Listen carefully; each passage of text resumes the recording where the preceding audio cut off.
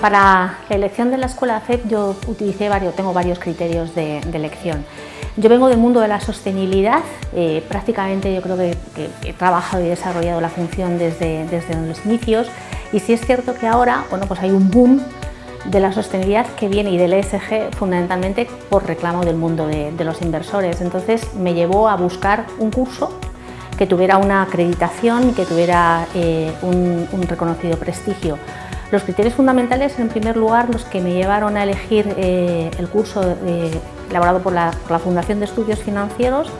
fundamentalmente fue el programa del curso, necesitaba un programa compacto, me gustó el programa desarrollado en 10 módulos, me fui al, programa de, de, CESGA. Me interesó mucho cómo, planteaban al final un desarrollo de un caso de estudio. Segundo criterio es quién estaba detrás de toda esa formación, de todo ese, de todo ese programa de formación.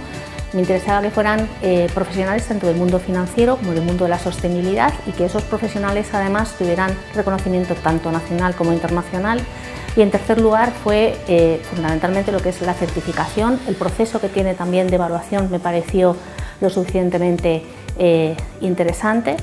y esos fueron realmente los, tres criterios que me, que me, llevaron a elegir la formación de la Fundación de Estudios Financieros, del programa de CESGA.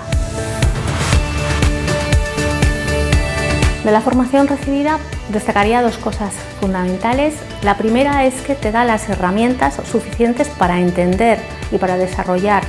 eh, los requerimientos de los analistas en materia de SG, de los mercados financieros, y por otro lado que te da las herramientas suficientes para desarrollar aspectos de SG en la, línea de integración de los, activos. Eh, muy importante es la integración del SG, tanto en los rentos como en los, como en los riesgos, en la valoración de las estrategias de SG, en, todo el proceso de la cadena de valor del desarrollo de los fondos de inversión, activos tanto en el mundo de las acciones como en el mando de los, de los, de los fondos, de los, bonos, de los bonos verdes. En general, eh, te da esas herramientas fundamentales además también para entender no solamente los requerimientos por parte de los inversores, sino las empresas qué información y otro tipo de gestores qué información tienen que dar a los inversores.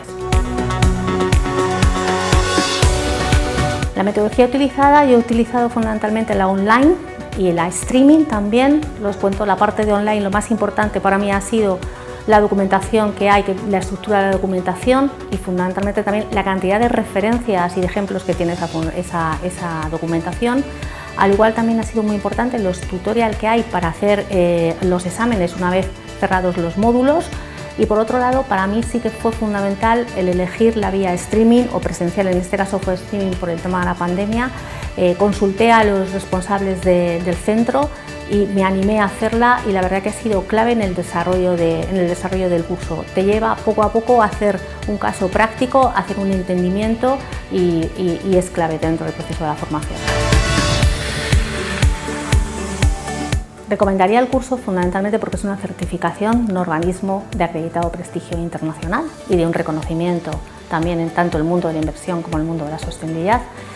y por supuesto luego una serie de factores que te ayuda a reconocer en este caos regulatorio, en este caos de estandarización, cuál es la información requerida tanto por el mundo del inversor como la información que debería dar los responsables de sostenibilidad y que te ayuda a construir esa cartera. Y parte de diferenciación que no solamente toma los activos tipo acciones, sino que también trabaja con los bonos verdes, fondos de inversión o materias primas.